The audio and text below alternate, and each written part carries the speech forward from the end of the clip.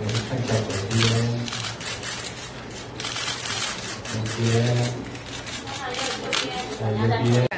因为我问了我十七岁的朋友也是刚十七岁他说至少要等一两个月才会有感觉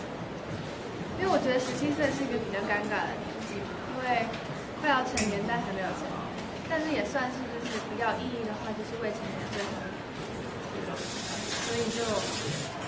还没有太大的感觉。因为我一直以为十七岁会是一个比较普通的生日，但好像没想到，其实这两天过得还蛮开心的。因为刚好专辑现在我本来就考虑了很久，到底要哪里办，因为以往都是在台北办，所以就本来想说到上海或者北京，但是想说其实更有意义的就是开直播，就是这样子，全部的粉丝都可以看到。因为不然就是很多人在说，哎，为什么每次生日音乐会都都只办在台北，做很多场因为音乐会也不能不能录影啊或者拍照，所以就他们也没办法分享，所以这次就干脆就想那就用直播的方式。那因为十七岁，我也比较想要轻松的过吧，因为以往音乐会都是非常压力的，压力非常非常非常非常超级大，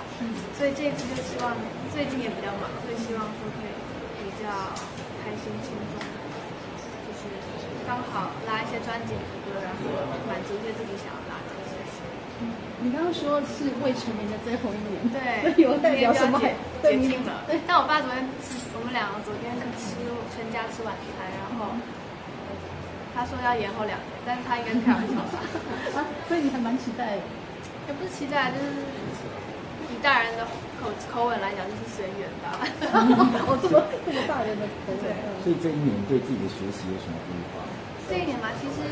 呃，你是说学的学科学科的部分？你先讲，就是因为，